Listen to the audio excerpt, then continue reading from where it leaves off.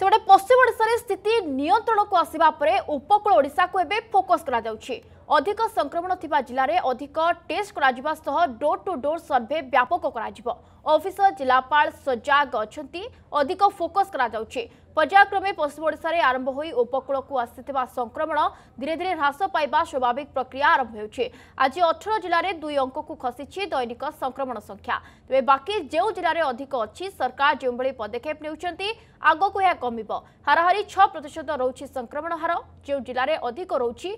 আশা করা যাচ্ছে এই মাস শেষ সুদ্ধা বহুত কমিযিব আইসিইউ পরিচালনা নেই প্রতিক্রিয়া রাখিছেন জনস্বাস্থ্য নির্দেশক নিরঞ্জন মিশ্র ये गोटे स्वाभाविक प्रक्रिया आप देखिले वेस्टर्न इंडिया रे आरंभ होला ତାଙ୍କର ଖସିଲା ଆମର ତାପରେ ଇଷ୍ଟର୍ଣ୍ଣ ପାର୍ଟ ଅଫ୍ ଇଣ୍ଡିଆକୁ ଆସିଲା ସେମିତି ଆମର ବି ଗୋଟେ ପର୍ଯ୍ୟାୟକ୍ରମେ ପଶ୍ଚିମ ଓଡ଼ିଶାରୁ ବ୍ୟାପିକି ଆସିଛି ତାଙ୍କର ସେପଟ କମିବା ଆରମ୍ଭ ହେଲାଣି ଆପଣ ଜାଣିଛନ୍ତି ଆଜି ପ୍ରାୟ ଅଠରଟା ଜିଲ୍ଲାରେ ଡବଲ୍ ଡିଜିଟ୍ରେ ଅଛି ଶହେ ତଳେ ଅଛି ବାକି ଏଇ ଯେଉଁ ଜିଲ୍ଲା ସ୍ଲାଇଡ଼ଲି ଅଧିକା ଅଛି ସେମାନେ ବି ପର୍ଯ୍ୟାୟକ୍ରମେ ଆମ ଯାହା କାର୍ଯ୍ୟକ୍ରମ ଚାଲିଛି ଯେଉଁଭଳି ଭାବରେ ଟେଷ୍ଟିଂ ଚାଲିଛି ଯେଉଁଭଳି ଭାବରେ ଡୋର୍ ଟୁ ଡୋର୍ ସର୍ଭେ ଚାଲିଛି ସିଏ ବି ନିୟନ୍ତ୍ରଣ ଭିତରକୁ ଆସିଯିବ କାହିଁକିନା ପୁରା ରାଜ୍ୟରେ ବର୍ତ୍ତମାନ ଆପଣ ଜାଣିଛନ୍ତି ହାରାହାରି ଛଅ ପରସେଣ୍ଟ ପାଖାପାଖି ଟିଏଫଆର୍ ରହୁଛି